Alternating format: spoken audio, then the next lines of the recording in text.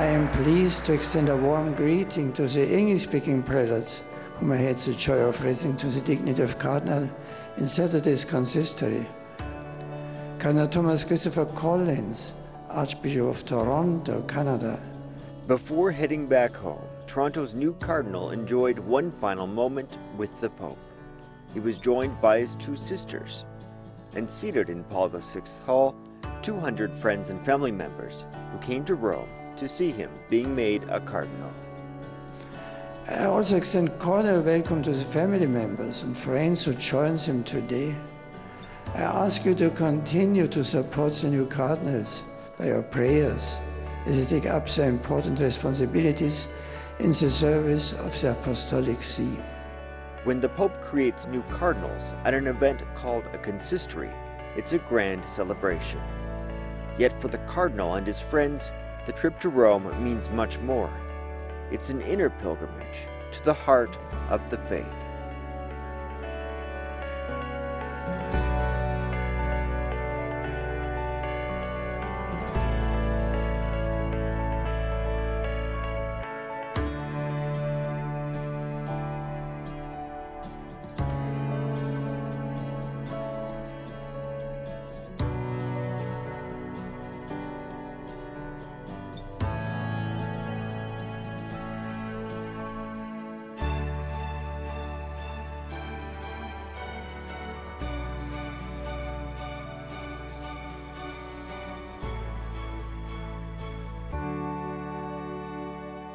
So, Your Grace, we've arrived in Rome, Mhm. and this is going to be quite the week for you. It will be quite a week. It's uh, very exciting. Up up here, around the, this corner here, there are some of the major offices like the clergy, education on this side, the office for bishops on that side. So from time to time, I've gone there. Have you made an ad limina yet with Pope Benedict? Uh, yes, I did. As Archbishop of uh, Edmonton in 2006, I uh, I made the ad limina with the Western bishops at that time, but I haven't uh, yet made one as Archbishop of Toronto. As a cardinal, Collins will be traveling to Rome increasingly often. Cardinals are usually asked to serve on a number of governing bodies called dicasteries, but already he has many friends in the city.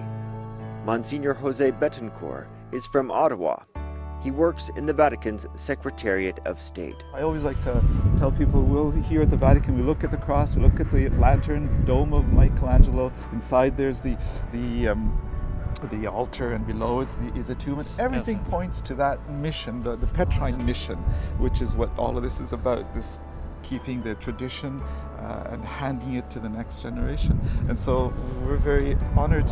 Very, very honored to, to welcome you to, to this point, vantage point. Thank you, Monsignor. This is beautiful to be able to see uh, the whole of the Vatican here with the St. Peter's. Uh, I know whenever I, I come to Rome, I always like to go there to the to the uh, the altar, and directly under that altar, there's the, the tomb of St. Peter. And just to think that this is that that central point where I think it says now, I may be wrong, that around the dome it's just something like from this point radiates uh, unity of the church, and and that's very very. Uh, uh, it's just um, very moving to to be here, and then I've never been able to see it from this perspective before. It's amazing. It really leads people to things that are uh, you know so central to God. I think of beauty, truth, and goodness. Those are three great realities, and the thing I think that reaches out to people who are seeking and who perhaps are, are looking for faith is the beauty. That that begins. You begin with that, and then that can lead them to truth and goodness, and it's just it's a, it's a great gift. Father Owen Keenan is a priest from the Archdiocese of Toronto. Uh, you uh, you work here uh, with Well, the Holy Father. As Father, as Monsignor Its. Betancourt said, uh, all of this is exists to uh, serve the Holy Father, the successor of Peter, Peter who's buried there. So I'm privileged to work here in the Secretary of State, to be a priest from Canada who comes from afar to work here at the center. As you say, all roads lead to Rome. Cardinal Collins has shown himself to be comfortable in the ecclesial spotlight, readily engaging with the media, and making frequent public appearances throughout the large archdiocese. Such a meow. It's such a nice. This is a great little. That probably But the cardinal also has a quiet side. This is um, another bookstore, Yes, the uh, Via San Conciliazione. Paulo, yes. I do visit a lot of bookstores. It's, uh, I find it very relaxing and interesting, and I've been doing that ever since I was a little little boy. Which is your favorite bookstore here? Well, there's one on the other side uh, called Leoniana, which is very good. I go there quite a bit. And then this one, San Paolo here, Paulina, which is upstairs. They have some uh, English books and various other ones. Where do you find the time to read? Your responsibilities are immense. You have to carve out blocks of time. Well, I, I'm you know working throughout the day on various uh, things that I'm doing, and often in the evening too. I'm out at various events. But when I come, I can. I come home to my uh, little apartment, and I've got books piled everywhere, and I I, just, just I've and I, I have this little couch I've had since I was uh, teaching in the seminary in London, and it's just nice. It just slopes just nicely, and I kind of lie that way, and I got books above and books, and I just read. I read, read, read. I've been reading since I was a little boy. I just, I love to read. There we go. Most pilgrims in Rome plan to visit the four major papal basilicas, but throughout the city there are hundreds of lesser known churches of historical and artistic significance. When he is made cardinal, Archbishop Collins will be named honorary pastor of one of them. It's a church for Canadians because the it was the uh, church of Cardinal Carter, and now it's the church of Cardinal Willett. So And- right here we have his uh, crest up there, along with that of uh, Pope Benedict. And by church, what does that mean for cardinals? Each of you has a, a parish or a church here in That's Rome? right. Yes, each of us has a uh, a, a church assigned to, uh, which you're almost sort of the honorary uh, parish priest, you might say, of a one of the parishes of Rome, to the diocese of Rome, to the See of Peter, to to the Pope. It's just beautiful. Right down the street. Right. That's right. This is very very good. Yeah. Pilgrims may be surprised to learn that there is more than one church in the Vatican. In the shadow of the Great Basilica is a German residence called the Teutonic College. It contains a cemetery and this church. The Canadian delegation came here to celebrate Mass on the Wednesday before the consistory. of Cardinals. Their first duty, their primary duty. So we too, as we begin our time together in pilgrimage, Bishop John Boissonneau, Auxiliary Bishop of Toronto, what was the significance of celebrating Mass with the Toronto delegation in this place? It was the first time we got together for Mass, and it's such a beautiful place to remind us of who St. Peter is and was for us. And in this beautiful chapel, to be that close to the tomb of Peter and allow ourselves to put it in the context of our visit to Rome for the Cardinal's creation. Members of the Canadian group were eager to express their admiration for the new cardinal. Well, it's a great honor for me uh, to join Cardinal Designate Collins. I've known him most of my life. He taught me in the seminary, uh, and as well, I was with him on faculty. And now, as an auxiliary with him, to support him and uh, to strengthen the faith of the people of the Archdiocese. It's a great honor to be here in, in Rome. a little known fact, but he was an associate of mine at the cathedral Uh-oh. many years ago. and a very wonderful priest at that time, and is now too. And what are your hopes for the future for Archbishop Collins, now Cardinal Collins? Maybe that he'll be Pope. Archbishop Collins brings a number of very special gifts uh, as a new cardinal in uh, the Church of Canada. I've gotten to know him pretty well. I participated at the Synod uh, on the Eucharist with him. I spent three weeks with him here in Rome. I've also uh, worked with him on the Permanent Council of the uh, Conference of uh, Bishops of Canada. He, he brings certainly a great wisdom. He's a he's a man who knows his stuff. He he studies, he reflects, he informs himself thoroughly on any question that we're debating. He, he brings a sense of balance, I find. He looks at both sides of a question and he can see both sides very well. Cardinal Collins, uh, since coming to Toronto, I mean, has made a very strong commitment to the board, to Catholic Charities. He is the chairman of our board and has a, a strong commitment to the board, which enables us to do what we do. It was a wonderful opportunity to be invited and uh, to celebrate with uh, Cardinal-elect Collins and um, just to uh, the opportunity to see a consistory and uh, to be part of it. There's always excitement on Via della Conciliazione, the street leading up to St. Peter's Square. But even more so this week, as delegations from around the world arrive for the consistory. You never know what prominent cleric you'll bump into. Thomas Collins in Toronto. Welcome, Thank you, thank you very much. It's uh, Stiamo great to be facendo here. ogni giorno qualche cosa per la yes. notizia. Are you already here some days, or when, when did you come? We just came this morning. Three morning. hours ah, ago. this morning. Ah, Yes, we still have jet lag. How are you doing? Yeah, there is uh, something to do in these days. Yes. So, Sala Stampa della Santa Sede, Holy See Press Office. Have you been inside here? Once. Yeah. Let's let's go inside. Take a look. Okay. Just go in. Come on in. Okay. Gianluca, piacere, piacere. Ti presento Monsignor Collins, Buongiorno. Piacere. arcivescovo di Toronto e prossimo cardinale la settimana Tanti prossima. auguri allora.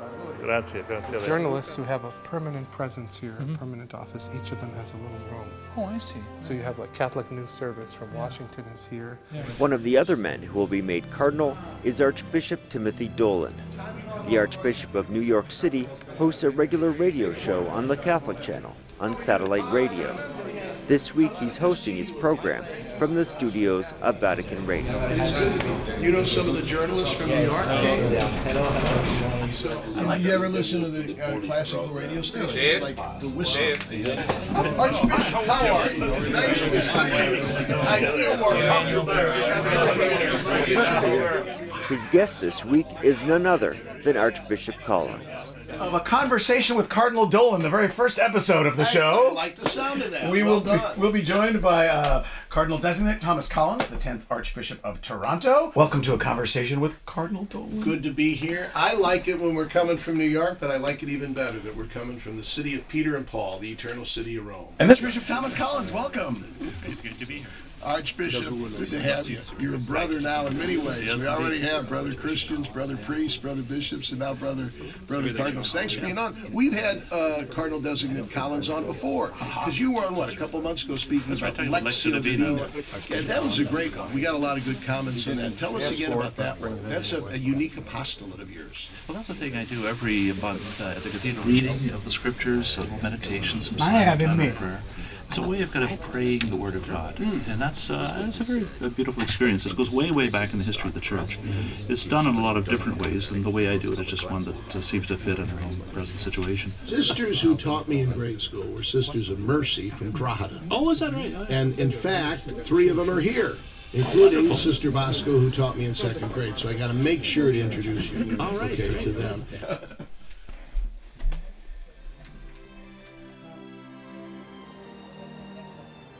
Grab a coffee here. Okay. Did you visit a lot of coffee shops during your studies in Rome? Well, there's one right down the street from the Canadian College I'd, I'd often drop into. So I find you need to have a break sometime. How many years did you actually live in Rome at the Canadian College? I lived five years at two different Canadian colleges. I was there at the one uh, near Piazza Zama uh, when I first arrived. I was there for a year when I was at the Biblicum in 1975. Mhm. Well, this may keep me awake tonight, and then I'll be even more tired tomorrow. So it's your fault. no, it's my fault. Perdonami. Two of Rome's most celebrated academic institutions are a short taxi ride away the Pontifical Biblical Institute and the Pontifical Gregorian University. They're both just steps away from the famous Trevi Fountain. We're in, in the middle of Piazza della Pilotta in the historic center of Rome. This place means a lot for you. What happened for you in these buildings around here? Well, when I, I came to Rome in 1975, I was sent by my bishop to study at the Biblicum of the Pontifical Biblical Institute, which is right here. When I studied here until 1978, I did a licentiate in sacred scripture. Here's another one of your old haunts, the Pontificia Universitas Gregoriana, the Gregorian University. What happened to you in this place? Well, this university is right across the street, across the piazza from the Biblicum. And uh, after I finished at the Biblicum, uh, I spent six years back at St. Peter's Seminary teaching. Then I came back to do a doctorate uh, in biblical theology here at the Gregorian. Um, so that's, uh, I've also graduated from this uh, university, um, although I did a lot of the work when I was uh, uh, doing my work at the Gregorian over at the Biblicum Library. And one of my teachers is going to be becoming a cardinal uh, this this week. Like teacher, like student. Prosper Grech. Wow. Yeah, I had uh, Maltese, a great biblical, biblical scholar. scholar. Yeah.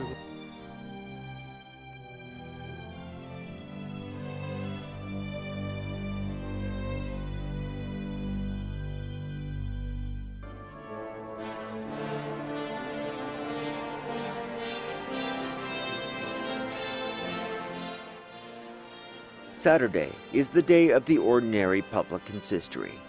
The term comes from the Latin consistere, to stand together. In this case, the Pope with his primary consultors, the cardinals. It's at this ceremony that each cardinal receives his biretta, the traditional red pointed hat. They also receive their rings. Sull'anello che tra poco vi consegnerò sono raffigurati Santi Pietro e Paolo con al centro una stella che evoca la Madonna. Portando questo anello, voi siete richiamati quotidianamente a ricordare la testimonianza che i due apostoli hanno dato a Cristo fino alla morte per martirio qui a Roma, fecondando così la Chiesa con il loro sangue. Mentre il richiamo alla Vergine Maria sarà sempre per voi un invito a seguire colei che fu salda nella fede e umile serva del Signore.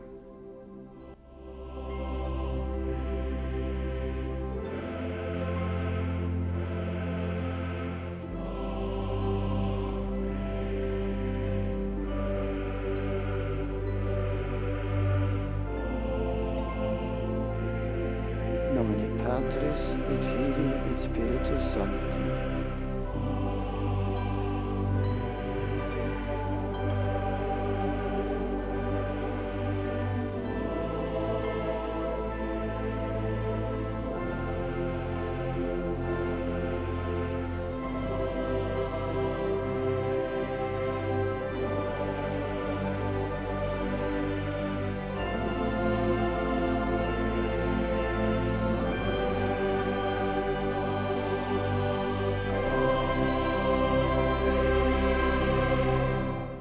accipianulum di Manu Petri et noveris directione principis apostolorum directionem tuam erga ecclesiam roborari.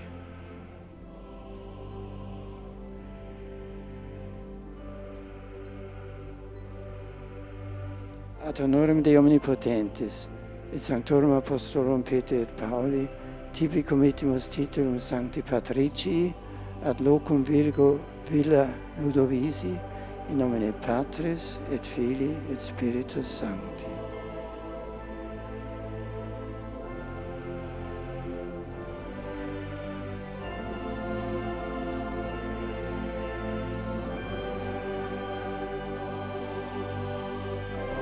Back in Canada, the Catholic community rejoiced. Well, I was incredibly excited. Um, it seemed that uh, it was going to be a while before he became a cardinal, but when the announcement was made, people were texting me saying, like, Nimon, you know, the Archbishop's a cardinal. I was really excited for him and excited for us. I, I think uh, it'll be a good thing for the diocese. It's wonderful news. Um, whenever Archbishop Collins says Mass, I'm always inspired by his homilies. He's been such a great help in the community, and as a bishop, he is an amazing person.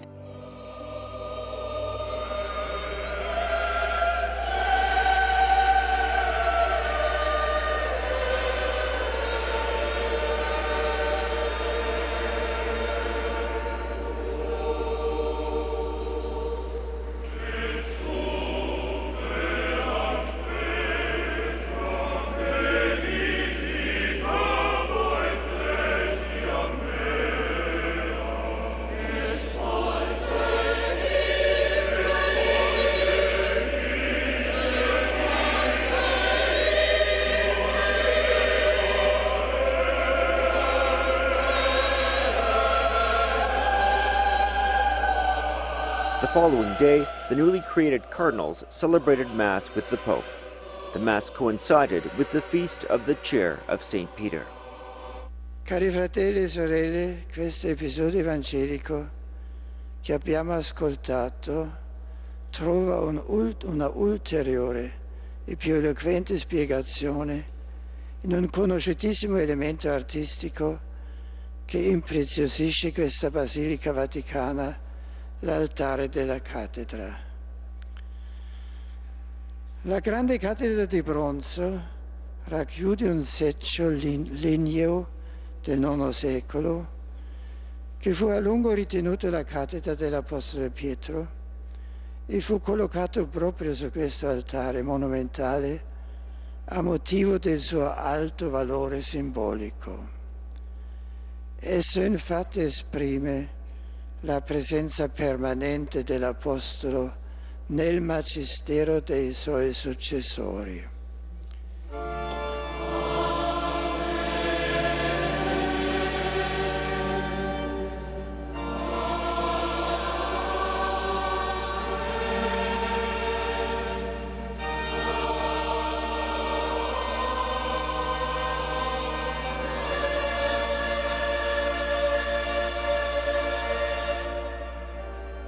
Precepti salutaribus moniti et divina institutione formati audimus dicere Pater noster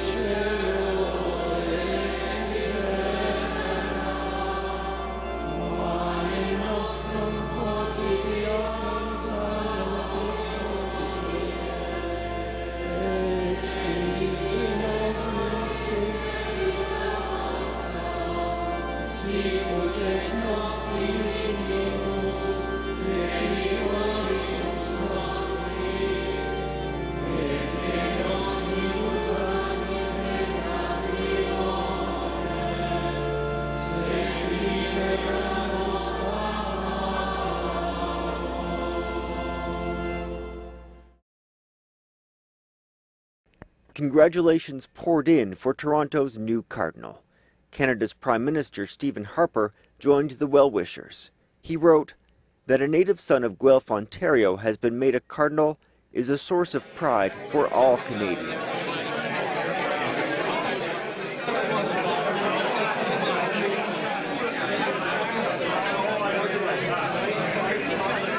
The federal government was well represented at the liturgies, and they joined the cardinal at a special reception. But it's a way for the government of Canada to express uh, its uh, reconnaissance for the great honor uh, bestowed on uh, Cardinal Tom Collins. Here, here.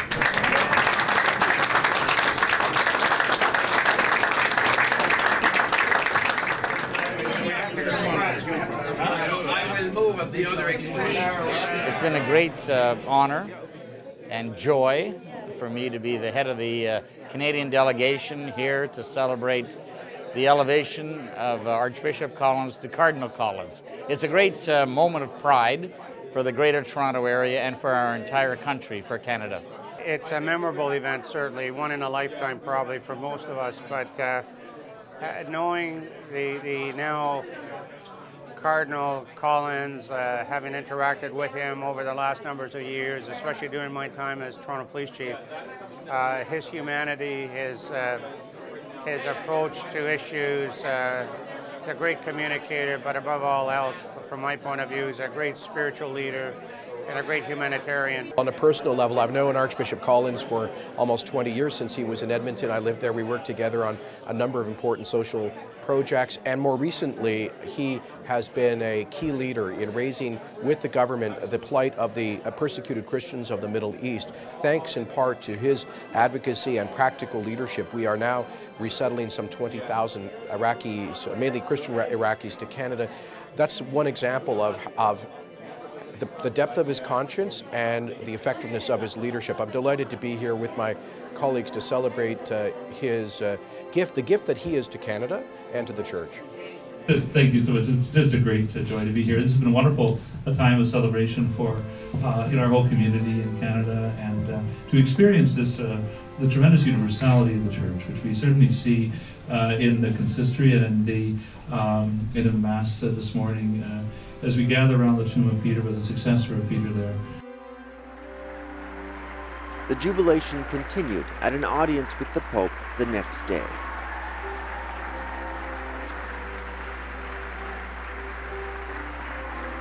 But not before one more quiet, solemn moment.